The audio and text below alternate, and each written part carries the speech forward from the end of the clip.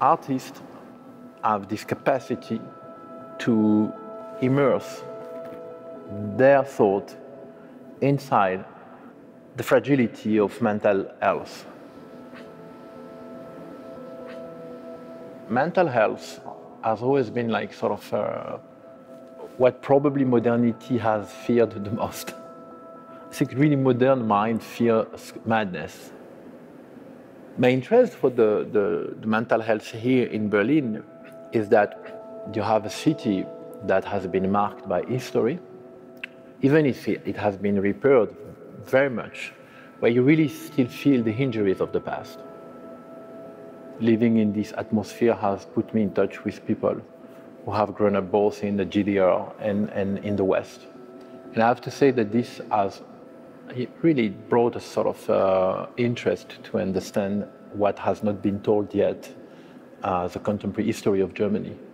This is basically what I'm planning to develop for Mindscape for, as a concrete result of my, my residency. We all carry the memory of our ancestors. So the, these injuries, though they, they, they, sound silent, they're actually uh, making, uh, producing a significant noise. Trauma that the patient did not necessarily live, but maybe his or her parents or grandparents. I'm very interested by the way that these uh, injuries of the past are impacting the mass, the mental health, and uh, the political orientation of the crowd art has always played a role in a society. And that's why I do believe very much in museum and exhibition. I think we if we lose the capacity to generate this field of emotion in a space, we will lose a lot. So how art can change the social life?